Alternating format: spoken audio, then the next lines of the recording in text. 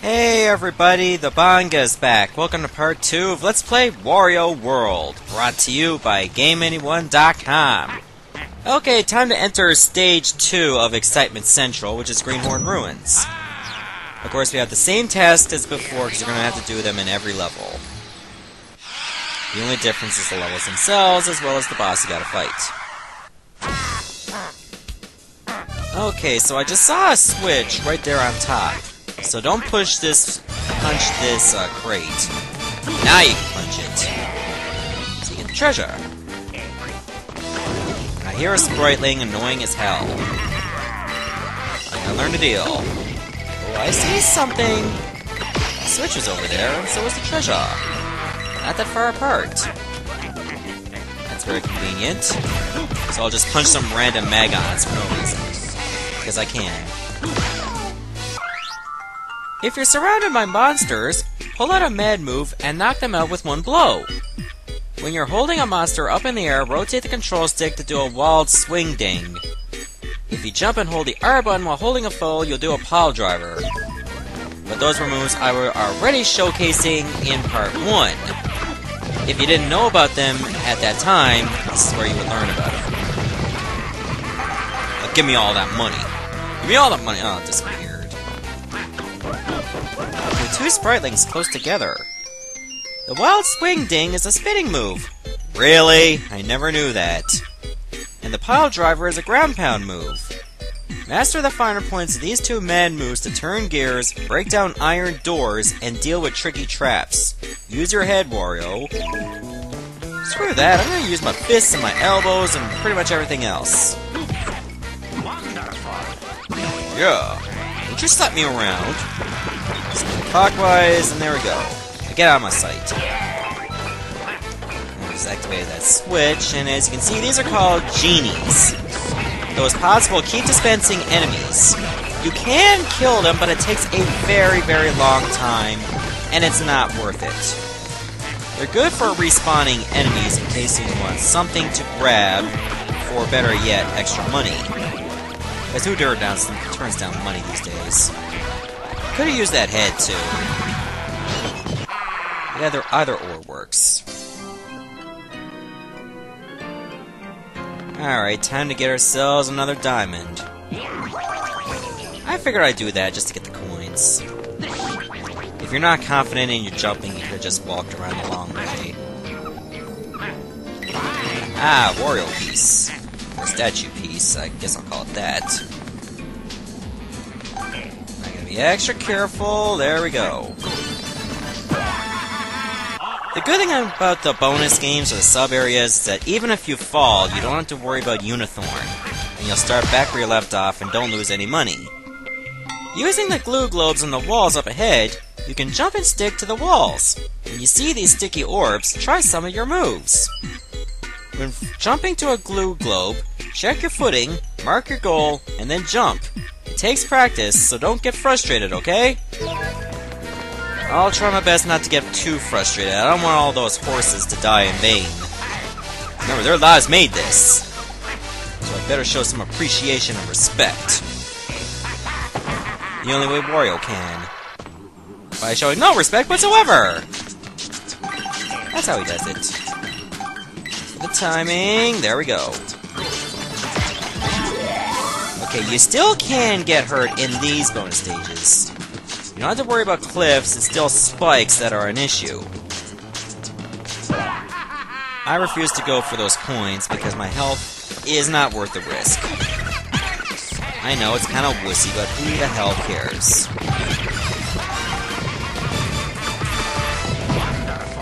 Yeah, see, like the green pestle. Just wish I could adjust my camera angle a little better, but oh well. Okay, got that. I see green and I see blue. Now I gotta look for their switches. Okay, I can't go over that way yet. But I will soon enough.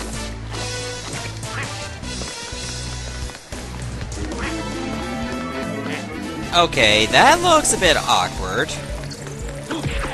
Gotta take on this little statuette foe. Just throw it right at that diamond core. You'll see these in different levels, and she may have a different attack. At least I think that's a she. It looks like a very feminine male statue, if otherwise.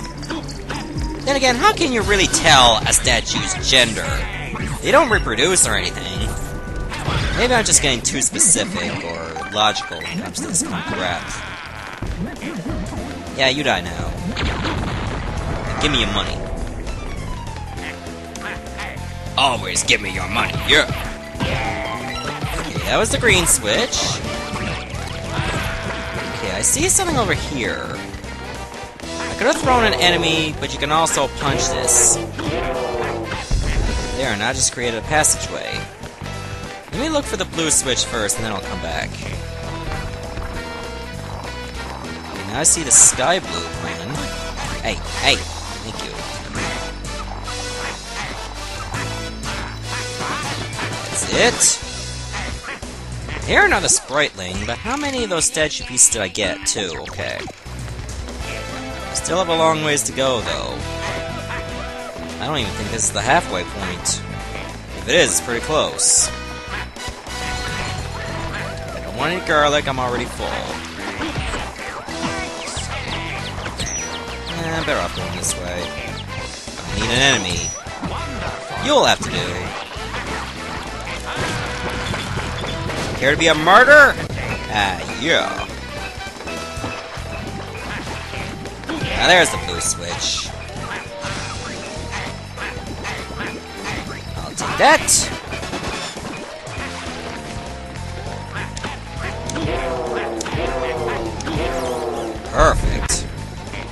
I can go back there too, grab the blue chest, then I gotta go up for the green one. Simple as that, right? Yeah. Okay, it looks like I'm getting teapots or cups or vases. That's all I seem to be getting in this type of level. At least the treasures here in each level have a certain theme. They kind of fit together, which is nice. Grab like a big. Give me a big one! I'll keep punching out the small ones. But I'm recording a video, I don't want this to be too long. Come on, give me a big one! Thank you! I'll take you, giant derp. Actually, I should start spinning first.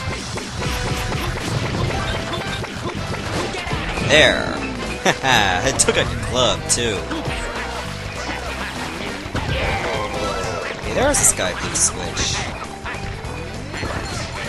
I gotta head back to that chest. Okay, come on, grab that. It needs to be at a better angle.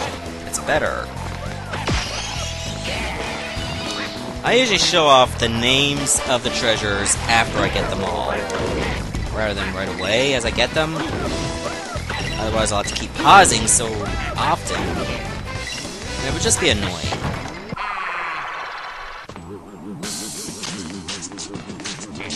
Okay, so I'm going for my third diamond now. I thought I would have at least four or five at this point. But I guess I was wrong. Gotta think of where I'm gonna have to jump from.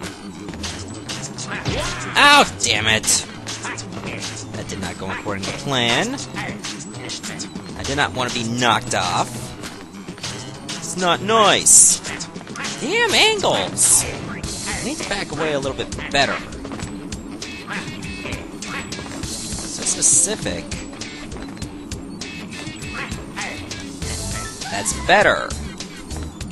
I suppose this is garlic over here.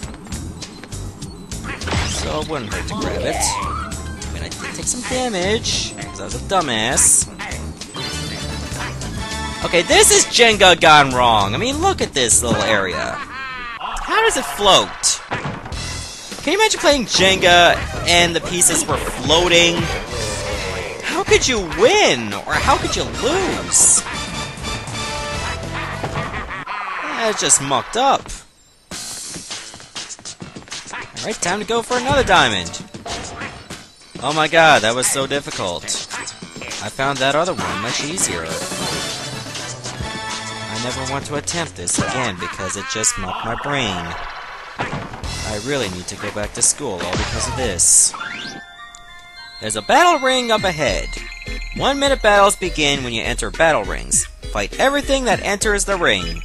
The number of coins you get depends on the number of monsters you defeat, so fight hard. Well, if Wario needed any motivation, it would have to be money. Okay, I'm getting used to this new controller that I bought weeks ago, but never even used. It has a longer reach, and it's better ergonomically. The B button is slightly larger, which I can get used to. So I'm really liking it. I just hope it doesn't make too much noise compared to a regular GameCube controller. Because if I had to use my regular GameCube controller, I would have to get on a chair, therefore sit at an angle rather than be at the couch. So I find this a lot better for me. That way I have more reach. I forget the name of it exactly, I'll be sure to put it in the description. So if you want to get that type of controller, you can do so as well. You can get them at like EB Games or GameStop, that's where I got mine. Oh, I think I had to kill you first. Got as many as I could at the last second. Because it's money. So you'll probably see battle rings and some other levels too. I see the purple pestle, and I see the last spriteling. Well, I don't see it, but I hear it. Then again, you can hear those from a mile away. They tend to get very annoying if all you hear is Woo! Woo! Woo! Woo! I'm trying to look for you. Shut up! Okay, at least I can't hear the spriteling here. Because, dear God, if I'm doing this kind of sub area and I hear I'm gonna shoot myself. Then again, it's difficult to get handguns in Canada, so I can't really do that. Compared to the United States. I guess that's a good thing, to some extent. Well, is it a great thing? Well, yes and no. It all depends on where you live and who you know. Thankfully, I don't live around gangbangers, so I should be okay.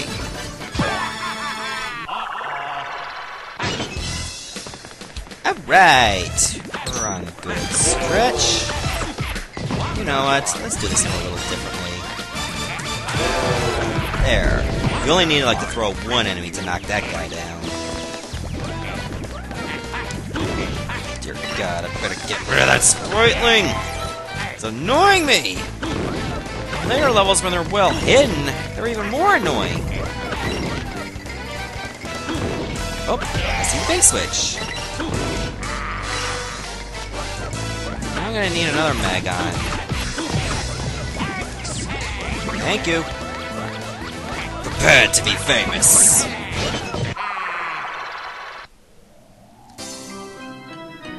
Really like the uh, sky sub-areas. I'm not gonna lie, they are very neat. There are usually spots where you can find tons of coins. And there's lots of room for error compared to like the ground ones. They're not that exciting, they're just simple puzzles.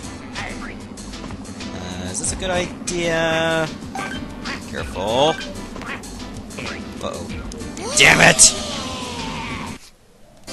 Well, I can take solace in the fact that the coins respawn. Even the big ones. And you don't lose any coins yourself, like I said a few minutes earlier, so you can take advantage of that. If you're feeling like the 1% and want all the money in the world, at the expense of everyone and everything else Then again, Wario is saving sprite beings, so he's not really that evil. Need to adjust the camera angle to be easier to see.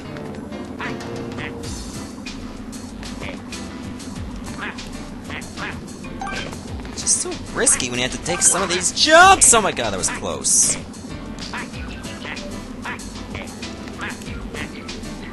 That's it.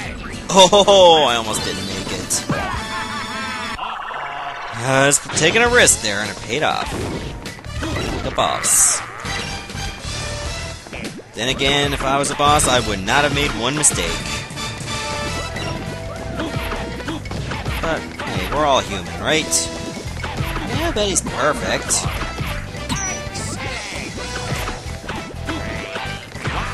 Ah, damn it. That's my fault. I will say that the camera angles in some of these levels could be refined a little bit better, but they could be a lot worse. I mean, it's still manageable. It's just too bad you cannot rotate the camera unless you're in the sub area, because you have more than freedom. Okay, I don't really consider this exciting at all, because all you do is lifting heads and then throwing them. And to listen in for the statuette piece. Yeah, see the diamond.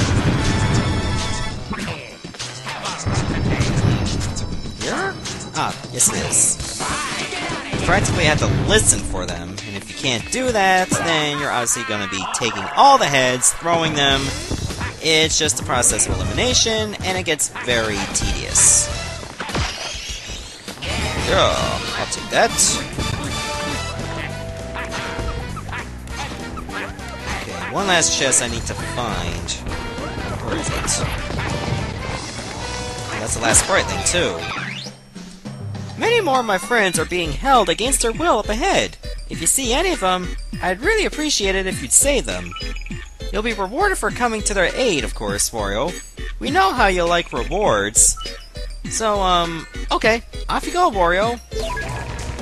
I see you to assume that I'll do it, but whoa! It seems like in every second level of a certain world, you'll actually get a console. Porcelain urn, fine china, ceramic vase, teapot, the vase, precious pot, lucky figurine, and an actual NES. Isn't that a nice Easter egg or what? Okay, even if I dispense the diamonds now, it wouldn't matter But I need to get that last diamond. Well, I don't need to, but I like to do it for the sake of completion, and I think there's a gold figurine piece there. Doing the wave! Yeah! California surfing! Wario style! Perfect. Is that all of them? Eh, looks like it. Huh. Wario's pose. I am not a crook!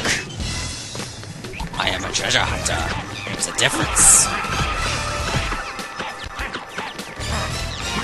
You know, I don't need to do this, but I will anyway.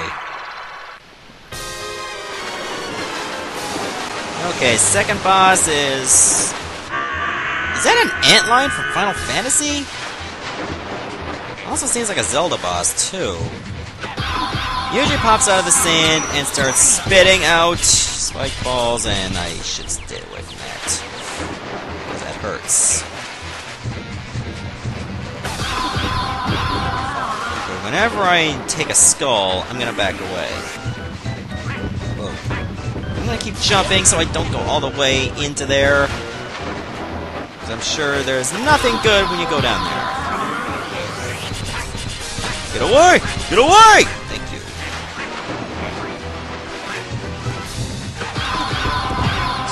One more. Now do your stupid trick again. I'll wait over here where it's safe. Like a rebel. Yes, rebels like to hide for cover. We're smart rebels! You are dead! Explode the coins for Wario.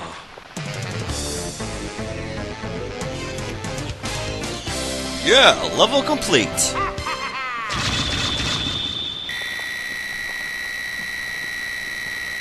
Give me some of them extra coins, yeah.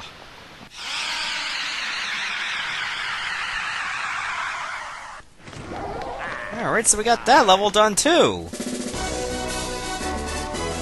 Because we assembled another gold statue, that should give us the other half of hearts. Now we have a total of 5 hearts for max HP.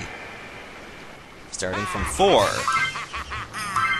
Okay, so that door that just opened leads over to the boss, Dinomighty. This one has a lot more health and a little bit more difficult than the other two bosses. So I'm gonna stop the video right here, and next part we're gonna go to Dino Showdown. Goodbye, everyone.